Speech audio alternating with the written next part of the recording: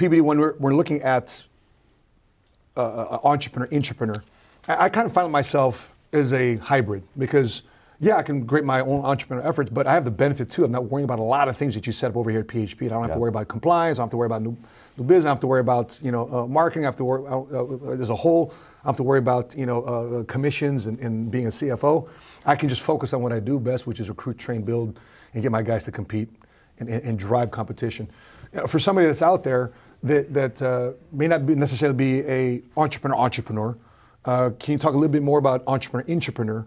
uh, and, and, and leveraging that platform or leveraging uh, uh, uh, somebody that can take them to the next I level. mean, look at Tim Cook. Tim Cook, you know, founder, Steve Jobs, and Wozniak take the company from zero to 100 billion. Okay, Tim Cook takes the company from 100 billion to three trillion dollars. Tim Cook is a billionaire. He's never started a business. I mean, not that it's a name that we know about. When we think about Tim Cook, what do we think about? Sure. We think about Apple, right? Sure. You know, you, you, can look at Ballmer. Ballmer's right now worth what, 60 billion, 80 billion? I don't know what the number is, but he bought the Clippers for 2.2 billion Mm-hmm. Yeah. from Donald Sterling. Thankfully, that, ra- ra- ra- that racist comment, right? Yeah, yeah. And then now the Clippers are worth 4.6 billion. He was he didn't start the company. He was a guy that was one of the entrepreneurs. Gates started the company and Gates is worth I don't know 100 billion, 120 billion. Ballmer's still worth 60, 70, 80 billion. He's right behind him. It's not like mm-hmm. it's that crazy of, an, of a number. No. You, you look if you can be if you can be as aligned to the role you play within an organization. Everybody plays a different role. The sooner you know what role you play in any organization, the sooner you're going to have the biggest advantage. Not everybody needs to go out there and start a business, and not everybody's going to be a C-suite executive.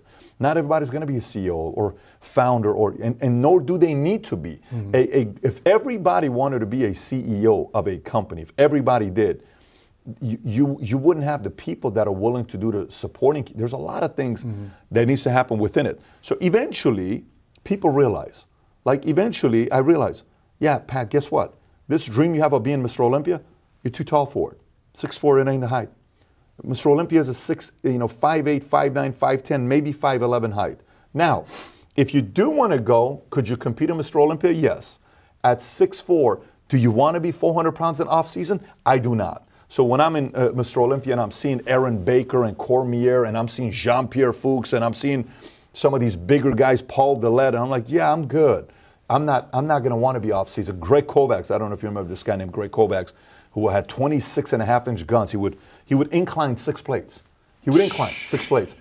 I'm like, you know what? No, bodybuilding is not for me. I'm not going to do it. So to me, that was just like, I'm going to step aside. I'm going to I'm going to do something else. So uh, yeah, if you can figure out a way to position yourself with the right people, if there is the right alpha, right leader that you're working with that does most of the things you need to be doing, and you can come and position yourself and still bring value to the table, you're going to position yourself in a better way.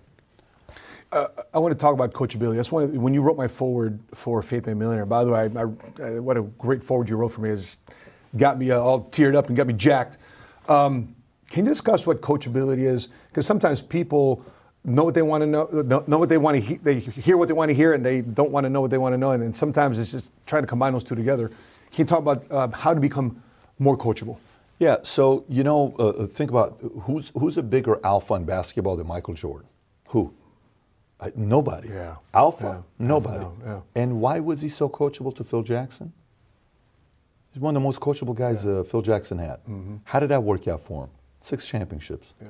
Worked out pretty good for him. Now, Tex Winter is asked, "Who's the smartest guy ever you coached in basketball?"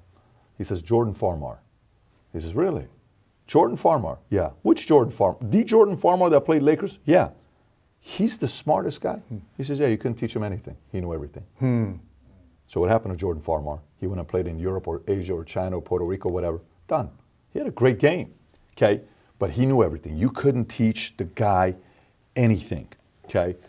In, in life, you know, this idea, like even right now where I'm at, I got a bunch of teachers around me teaching. I could be talking to a kid that's 16 years old who's been painting for five years. The guy knows more about painting than me. He's the teacher, I'm the student. Age is not the idea when it comes down to Yeah.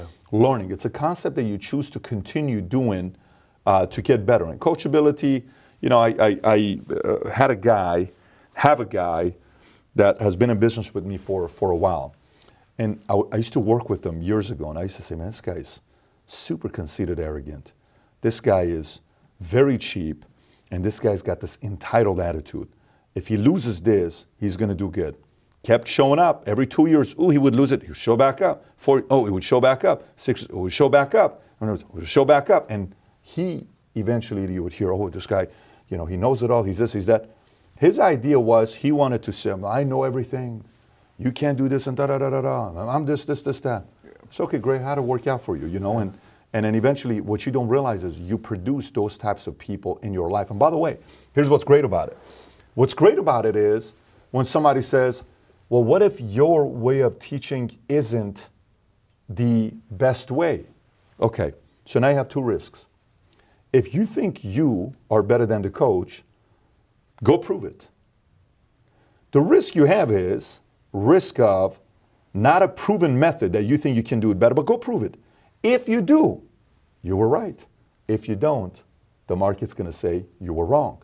Sometimes we have guys that the coach that was coaching was too content and too casual and soft and conceited and you know cheap mm-hmm. and entitled. And he found somebody that was better than him. And this person was the better teacher. And that person's trying to coach this guy's like, nah, man, I don't think you're right. So it's also making sure the coach is the right coach. It's not just being blind, yeah. you know, following anybody that whatever they're teaching you is, you know, yeah, I'm going to go and listen to this guy because of what. No, you need the right coach as well. So if you're lucky enough to choose the right coach, and if you're able to be coachable, you, you have the highest potential of winning at the highest level. Speaking of Michael Jordan, his uh, uh, Bob Knight just passed away. Yep. Uh, this, this, past week, uh, yep. coach of the Indiana uh, uh, Hoosiers. And he was Michael Jordan's coach during the Olympics. And uh, there's a quote by, uh, I forgot who the, the, player was, but he was talking about how his relationship was with Michael.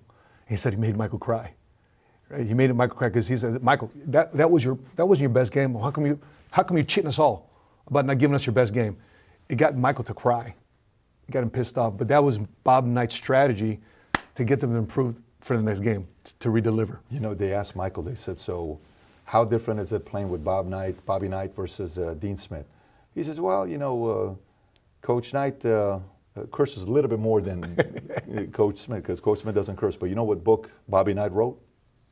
He wrote a book called The Power of Negative Thinking.